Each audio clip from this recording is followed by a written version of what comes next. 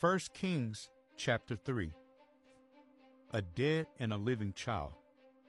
Then came there two women that were harlots unto the king, and stood before him. And the one woman said, O my lord, I and this woman dwell in one house, and I was delivered of a child with her in the house. And it came to pass the third day after that I was delivered, that this woman was delivered also, and we were together. There was no stranger with us in the house, save we two in the house. And this woman's child died in the night because she overlaid it. And she arose at midnight and took my son from beside me, while thy handmaid slept, and laid it in her bosom, and laid her dead child in my bosom.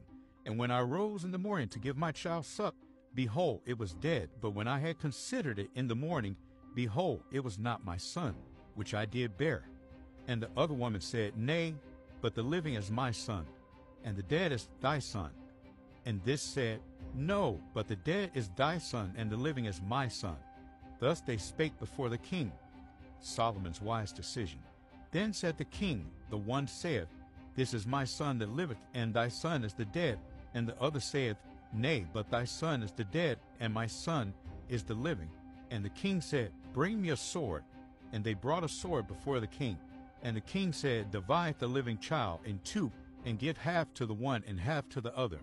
Then spake the woman whose the living child was unto the king, for her bowels yearned upon her son. And she said, O my lord, give her the living child, and in no wise slay it. But the other said, Let it be neither mine nor thine, but divide it. Then the king answered and said, Give her the living child, and in no wise slay it. She is the mother thereof. And all Israel heard of the judgment which the king had judged, and they feared the king, for they saw that the wisdom of God was in him to do judgment.